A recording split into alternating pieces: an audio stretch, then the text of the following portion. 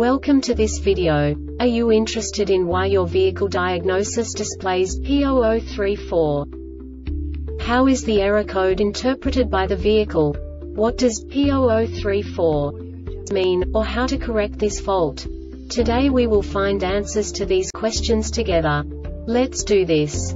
First, let's look at the history of diagnostic fault code composition according to the OBD2 protocol, which is unified for all automakers since 2000. We divide the electric system of automobile into the four basic units. Powertrain, body, chassis, network. This distribution is defined in the first character code. If the second character is expressed as zero, it is a standardized error. In the case of numbers 1, 2, 3 it is a more prestigious expression of the car-specific error. The third character specifies a subset of errors.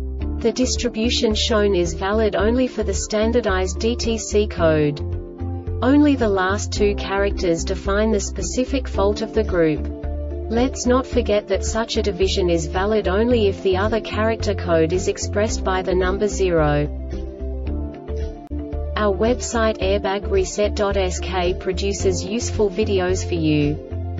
You do not have to go through the OBD2 protocol anymore to know how to troubleshoot any car breakdown. You will find all the diagnostic codes that can be diagnosed in a Lincoln vehicles. Also many other useful things. The following demonstration will help you look into the world of software for car control units.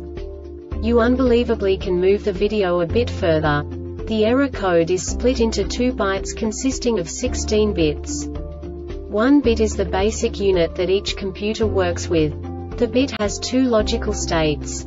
0, low level, 1, high level. By combining the first two bits, the basic character of the error code is expressed. The next two bits again determine the second character. The last beat styles of the first byte define the third character of the code. The second byte is composed of a combination of 8 bits. The first 4 bits determine the fourth character of the code. And the combination of the last 4 bits defines the fifth character.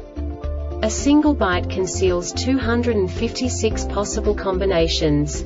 We now know in what way the diagnostic tool translates the received information into a more comprehensible format.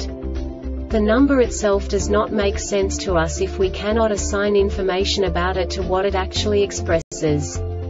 So, what does the diagnostic trouble code P0034 interpret specifically Lincoln car manufacturers? The basic definition is VSES combination sensor circuits.